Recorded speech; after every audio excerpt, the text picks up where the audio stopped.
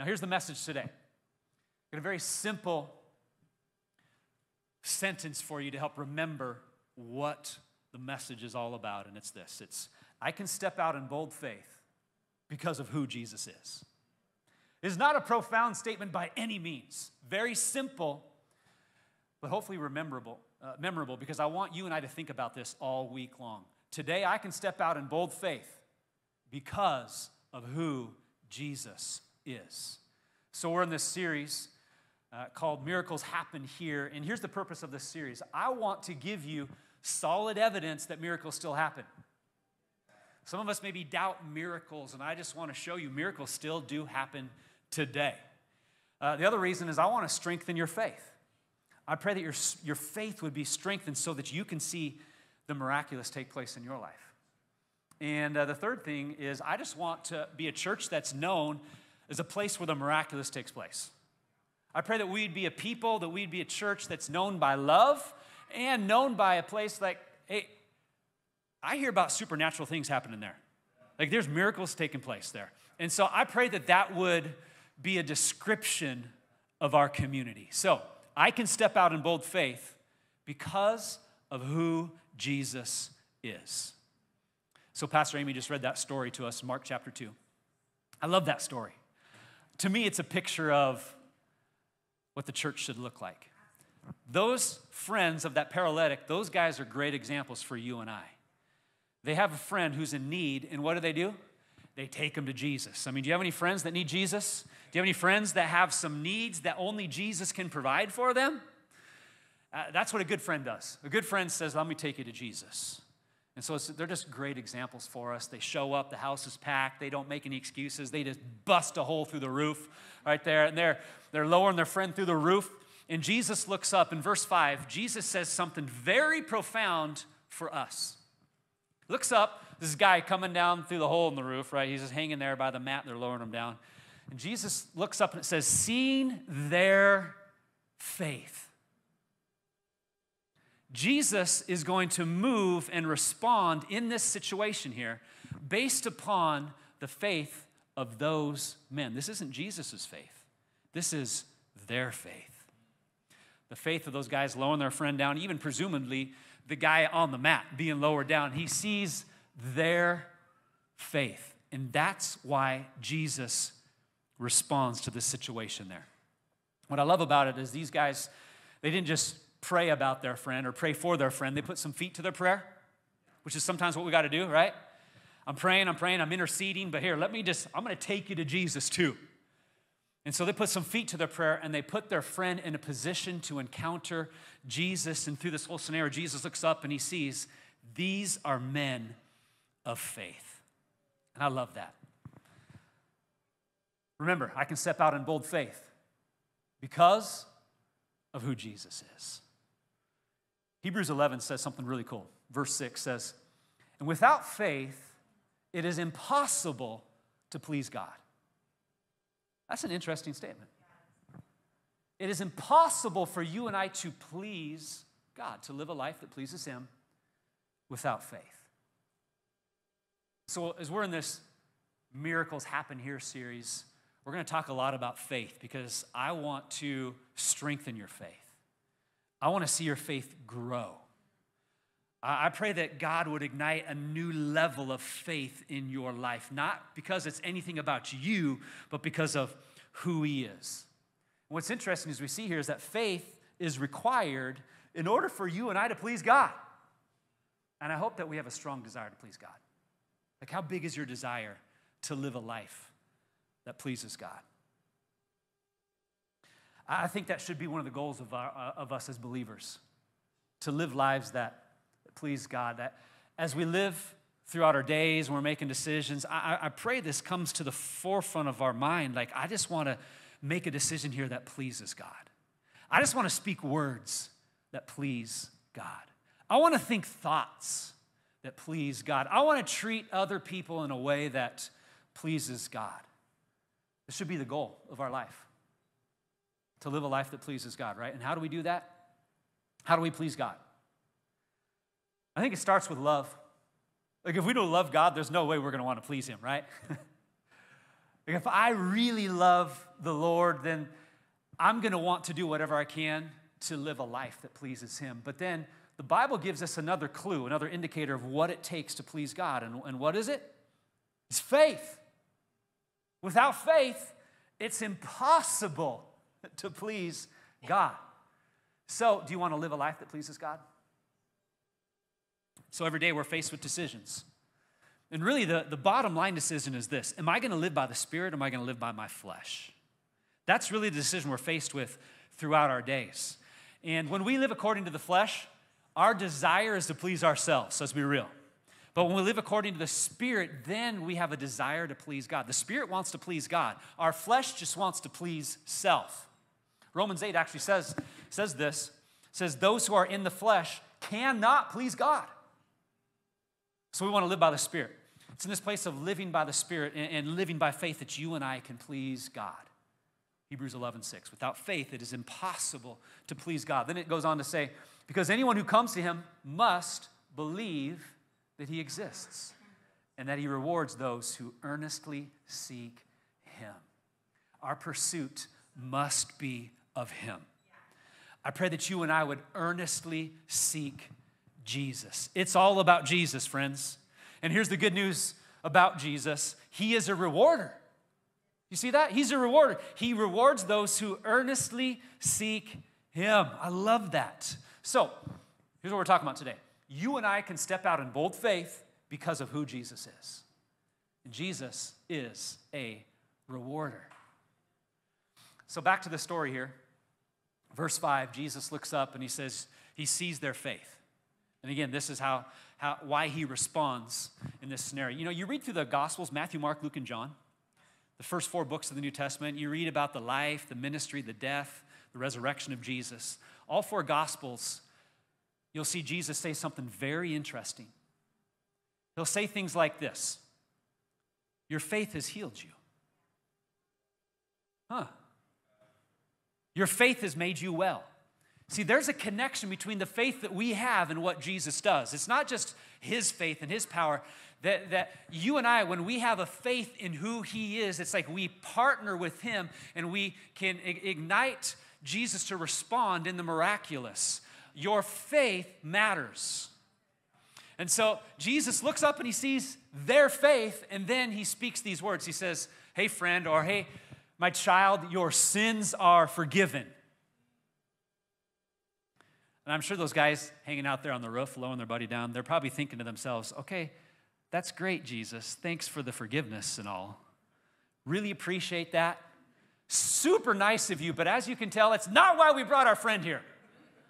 The dude can't walk. Maybe you can deal with that issue. I'm sure they're thinking, like, in their minds, this obviously isn't in the text, but you can just kind of assume, like, they're just thinking this, right? Like, thanks, but awesome, Jesus, Jesus, but. And what we're seeing here in this story is Jesus' first priority. Jesus looks past the outward, which is what we always get caught up in. This scenario, this circumstance, what's going on, on the outside, and Jesus looks straight into his heart and he speaks to a greater need. He says, Your sins are forgiven. And Jesus shows us what he cares about the most. Yes, he cares about every detail of our life. I'm thankful for that, aren't you? Yes, he cares about the things you're walking through, but you know what he cares about more?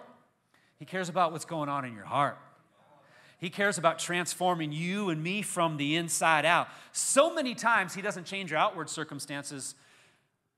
What He wants to change is our inward circumstances, our heart. He wants to transform our hearts, our lives from the inside out, not just our situations that we get caught up in. And so, Jesus looks past the outward here. And actually, 1 Samuel 16 speaks to this. Man looks at the outward appearance, but God looks at the heart.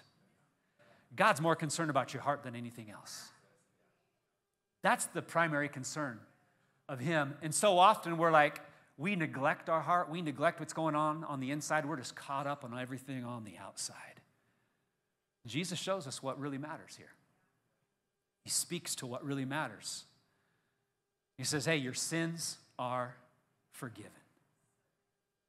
Which, can we just pause and say, that's the greatest miracle that could ever happen?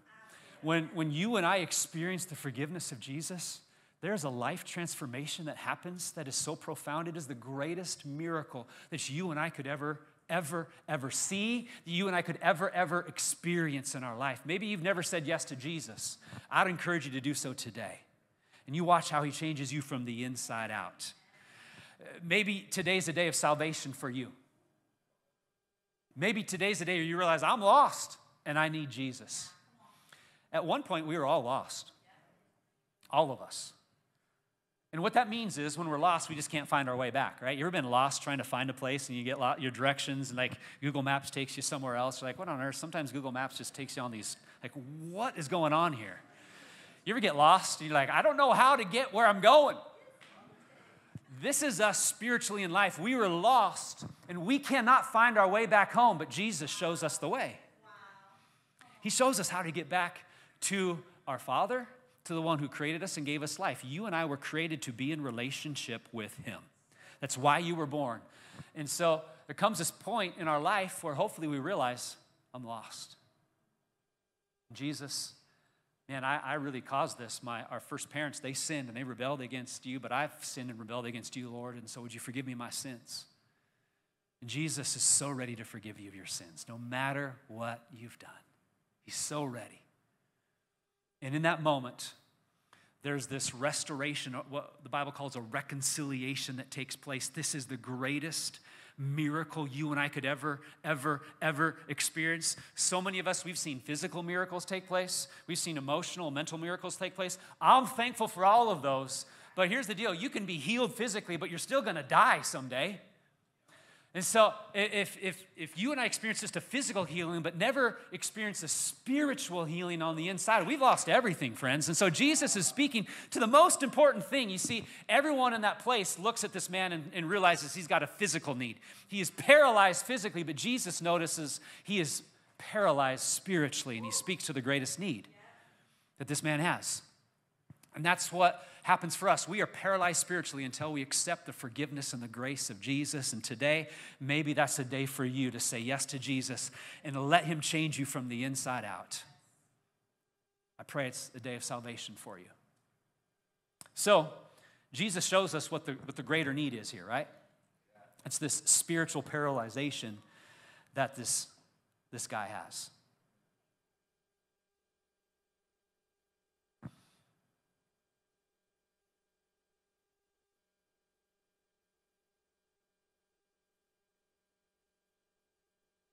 What I want to do is I'll just end the story here because I love how the story ends. We already read these last few verses, but Jesus knows what the religious people are thinking. You know, He knows your thoughts even right now. He knows your thoughts, which is kind of scary and kind of cool all at the same time. So, Jesus knows these religious people are thinking he's a blasphemer because he's claiming to be God by forgiving sins. And so this is how the story ends. Verse 8 Jesus knew immediately what they were thinking, so he asked them, Why do you question this in your hearts? Is it easier to say to the paralyzed man, Your sins are forgiven? Or stand up, pick up your mat, and walk. So I will prove to you that the Son of Man has the authority on earth to forgive sins. Then Jesus turned to the paralyzed man and said, Stand up, pick up your mat, and go home. The man jumped up, grabbed his mat, and he walked out through the stunned onlookers. They were all amazed and praised God, exclaiming, We've never seen anything like this before.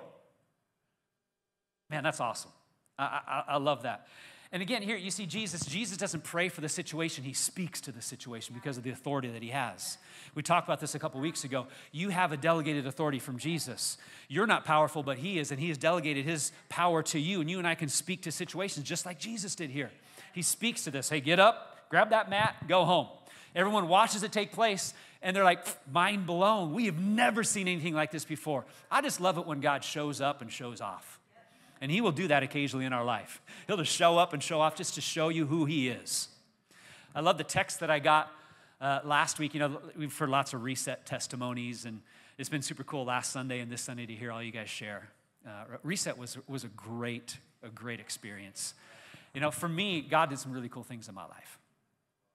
I love hearing Donna share last week, and Donna's like, This is my sixth time doing something like this, you know, cleansing streams, freedom conference, now Reset Retreat. It's all the same thing, just kind of repackaged and a little bit different. And so I'm one behind you, Donna. I did cleansing streams once, freedom conference three times, and, and reset. Uh, so I did five times. So I got five. You did six. You're one ahead of me here in this. And it's amazing how every single time there's something new Jesus speaks to me and sets me free of, convicts me of, heals me of. I just love how he's never done working on us. I love that. And so, man, saw some really cool things take place. And literally, Adam, Adam and Jennifer shared last week. Adam literally texted this scripture. He didn't even realize it, but last week he messaged me. He's like, I've never seen anything like this before. Which is what these guys just, the people are like, we've never seen anything like this before. And here's my prayer for you and I that we would be able to exclaim that more and more and more and more and more because we're people who step out in bold faith because of who Jesus is. And the more and more you and I step out in bold faith, we have opportunities to say, Man, I've never seen anything like this before. God is awesome. This is incredible. I want you to have moments like that, but it's gonna take you and I stepping out in bold faith and believing in who Jesus is and what he can do. So Jesus performed this miracle because of the faith of those men. Hmm. So, what is faith? What is faith? Thankfully, verse 1 of chapter 11, Hebrews, really uh, defines it for us. Faith is confidence in what we hope for, it's assurance in what we do not see. That's what faith is it's a confidence and it's an assurance. I'm confident in hope. And I'm certain of what I don't see yet, but I see it spiritually in my mind's eye. I see it. I am so certain of it. That, my friends, is faith. And some of us have lost maybe our confidence in that hope. And I'm praying that God would encourage you today. Maybe you've lost that hope. And faith is a confidence in hope. Remember, the hope isn't in, well, my prayers haven't worked. The hope isn't in, I've never seen this take place before. The hope is in Jesus and who He is. I'm confident and hope in Him. That's who my faith is in because it's about Jesus. Okay, so I'm confident in hope, and I'm praying that for those who have lost hope, that it would be strengthened and ignited once again. Maybe your faith is weakening, it's wavering. I, I pray that you'd be certain of those things you do not see, that you'd live a life of faith. Like, think about this this last week. How much was faith a part of your, your week? Did you have any decisions that you made or any opportunities that you just stepped out in faith? You're like, okay, Lord, like if you don't show up when I do this, I don't know what's gonna happen. I'm gonna be embarrassed. I'm gonna be an idiot. I'm gonna be a fool. And sometimes we just gotta be okay with being a fool for Jesus. Because we make it so much about us and so less about Him how much was faith a part of your week last week? And here's why I ask this because I've seen this too much. And if we're all honest, we've all been there, but too many believers live lives that don't require faith. Maybe we've lived some weeks and some months where my life requires no faith at all because I'm doing it all on my own strength. I'm just figuring it out as I go. I'm relying on my smarts and my wisdom and other people I'm here to encourage you to live a life that requires faith. You step out in boldness and you watch what God does. Some of you need to pray bigger prayers. Some of you need to pray bolder prayers. Some of you, you're going to allow God to empower you with boldness this week as you talk about Him. You're going to pray for some people this week. I'm just going to pray that God's going to give you greater boldness this week. You're going to have greater faith. Let's not live lives that don't require faith. That sounds boring to me, actually, doesn't it? But it's comfortable, and so it's easy for us to go there. But man, we, li- we missed out on those moments where we're able to tell people, like, I've never seen anything like this before. And that's what we're praying for. That's what we're believing for, right? So I can step out in bold faith. Why? Because of who He is. Because of who He is. So let's look at these words of Jesus here Matthew 17 disciples tried to cast out this demon, and it says afterward, the disciples asked Jesus privately, Why couldn't we cast out that demon? You don't have enough faith, Jesus told them. I just love that answer. Pretty straight up there. You don't have enough faith. Can you be a little nicer, Jesus? Come on. A tell you the truth, if you had faith even as small as a mustard seed, you could say to this mountain, Move from here to there, and it would move.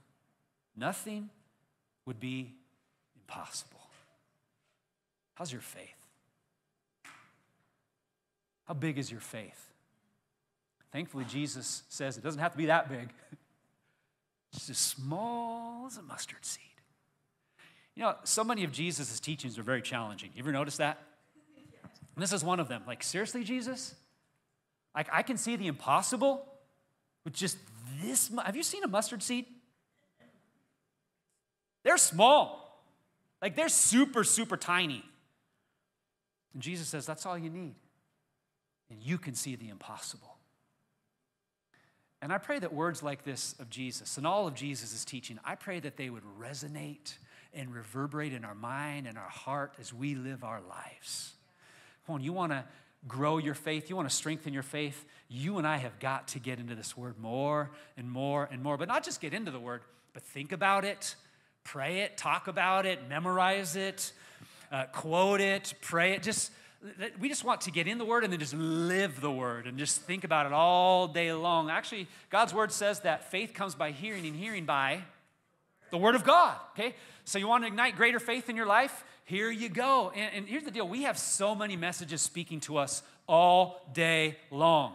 And all those messages from all over in the world, they're not encouraging your faith. Like this bad things happen, this bad things happen, and this bad things happen, and you know, this. And like, I mean, you, you read the news and you're like, what on earth? And after watching the news or reading the news, you never think to yourself, God, you were just so incredible. I'm so encouraged now. I'm so full of faith now. I'm just going to go and tackle the world, right? You're just like, Lord, the world needs you. And I'm kind of discouraged now myself, too. I thought I was going through stuff. Man, I just, I, you know what I think? We need to let Jesus be the greatest influence in our life. As disciples of Jesus, we need to let his teachings and his words be the greatest influence, the greatest voice in our life. You are hearing so many voices all day long from other people, from the media, from social media, from billboards you see as you're going to drive down Bell Road here today. All these messages are hitting all of us all day long, but we need Jesus to be the loudest voice and the greatest influencer in our life if we're going to walk in faith, if we're going to live in this place of bold faith. And so we've got to get into His Word, but don't just, it's not just about spending time in His Word, it's about speaking it, it's about meditating on it, it's about letting Jesus actually frame how I think and approach every situation in my life. That's the goal. Hey, as disciples of Jesus, let's let Jesus disciple us. How's that for an idea? We are discipled by so many things in the world. Let's let Jesus disciple us. And let's let Him influence how I should respond to a situation, how I should think about a situation. The truth is, you and I are speaking way too much doubt and negativity to ourselves, and then the world doesn't help us either. We need to hear from Jesus and listen to Jesus. I know so many of his, his teachings are so challenging, like this one, but they're his words, which means they're truth. Like, this isn't my opinion I just read. Like if you have faith as big of a mustard seed, that's not my illustration, that's Jesus' illustration. You can move mountains. That's not my opinion, that's God's opinion. And God's opinion matters far above anything else in, in our world. So all we need is faith the size of a mustard seed. And nothing's impossible. How's that for an idea? So, what Jesus is saying here is this true faith is an effective faith that produces results. That's what true faith is. It's an effective faith that produces results. Jesus says mountains will move, things will happen, there will be a shift that takes place. So, we, it's important for us to remember who we're putting our faith in. It's Jesus.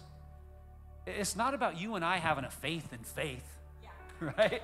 I'm not having a faith in like some force out there, some invisible energy that's going to cause this situation to change, right? It's faith in a person, and his name is Jesus. I don't have faith in my prayers or your prayers. I don't have faith. It's not faith in mountains moving. It's not faith in situations. It's not faith in miracles. It's faith in Jesus. That's who our faith is in. And you and I can have bold faith because of who He is. And so we're not, we're not miracle chasers, we're Jesus chasers. I'm not putting my faith in miracles are going to happen. I'm putting my faith in Jesus, and He does the miracles. He performs the miracles. Jesus actually said this, guys. He said this. His words, not mine. These signs will follow you. So let's not be sign chasers or miracle chasers. We're Jesus chasers. But as we step out in faith, following Jesus, and I pray bold prayers and I speak bold prayers, then signs will follow me if that's how I want to live and I'm going to live. But it all comes around to this thing called faith. How great, how, how, strong, how bold is your faith? It's about Jesus, not about anything else. You see, it's more about who we're believing in than what we're believing for. Right? It's about who we're believing in, not what I'm believing for. Hey, it's okay to believe God for big things. Pray big prayers, dream big dreams. He's a big God. But it's not about those things, it's about who we are believing in for those things. And remember, the amount of faith that I have, that's not even the issue. It's who He is. That's the issue. That's why Jesus said, you just need a mustard seed size, just a little bit. Apparently, the disciples didn't even have that much. Just need a little bit in Jesus. And then the miracles can happen. Now, it's important to say this faith doesn't make miracles automatic, but you won't see miracles without faith. Okay, please understand that. God's not a vending machine. We don't just push buttons and pray these prayers and speak this and all this, name it and claim it and all that kind of stuff. No, no, no, no. This is a journey we're on. And we're all on this journey of following Jesus, living by the Spirit, letting Him speak to us, and growing our faith, igniting faith in, in our life, and learning to hear His voice and just stepping out in faith. And as I pray and speak bold prayers and pray bold prayers, that doesn't make every miracle automatic. I wish it did. But here's the deal you won't see the miracle without the faith. In fact, I'm convinced of this. We don't see more miracles take place because we just don't ask. And when we do, we maybe we're like we're tossed back and forth like the wave of the sea. We don't really believe. I'm just doing it out of out of that's what I'm supposed to do as a Christian. But I don't really believe. But if I pray in faith in who Jesus is, and I really believe that He is able, and that He is more than able. We sang that earlier, right? He is more than able that's when we're going to see miracles take place more and more and more and more. Okay, so it's not about the miracles, it's about Jesus. But, but, but I believe that Jesus wants to use you to see more miracles take place. We could go on and on sharing stories about miracles that we've seen here. I, I love it. We heard some reset stories. God's performing miracles on the inside. I just, I, we, could, we, could, we could spend hours telling stories. But let me just encourage you to read the stories in here to grow your faith. This will grow your faith. And Jesus says if you have faith, you can move mountains. Hmm. So I'm encouraging you to live life with a bold faith. You ready to live that way this week? You ready to step out that way this week? Pose a couple questions for you as we close this year. If God answered the prayers you've been praying, would it change anyone else's world but your own? Liz Meisenheimer threw that out. She's not here today, they're out of town, but she threw that out on a, on a prayer request email a couple years ago. It just really resonated with me. How much of God's miraculous power are we unable to experience because we never pray prayers that are bigger than us? Uh, pray prayers for your life, for your family. I think you pray those, believe those, but let's not just be selfish with our prayers. Well, let's pray prayers bigger than us. Let's pray prayers that impact the people around us, my circle of influence. This, this whole series, we're calling it Miracles Happen Here. And here's the premise of the series Miracles happen here, not just here in this room, but miracles happen here, and here is wherever you are.